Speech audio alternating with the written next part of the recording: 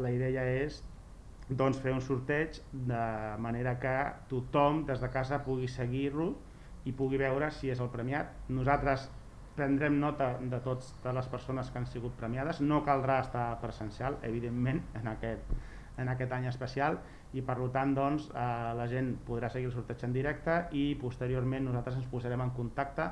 amb cada un dels premiats i penjarem també la llista dels que han sigut premiats a la web de l'Ajuntament i de xarxes per tal de que puguin venir a recollir el seu premi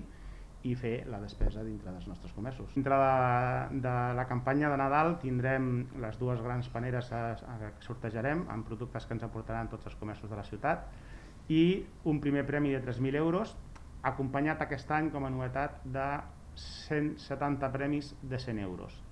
amb la qual volem arribar al màxim de persones possibles que siguin beneficiàries d'aquest esforç que es fa per incentivar i impulsar el consum al comerç local